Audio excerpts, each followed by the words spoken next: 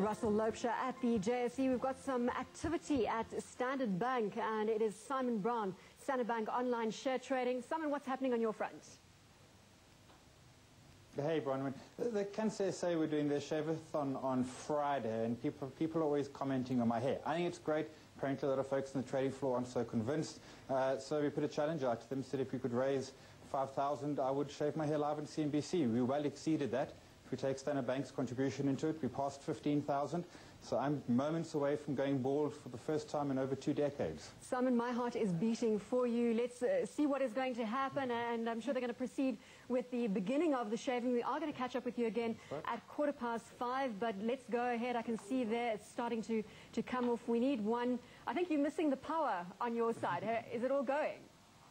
No, we got we got the power. Trust me, the hair is going, Bronwyn. The, is, uh, the hair is going. Is We're going to give it a couple more minutes on that front. Simon, you are very brave.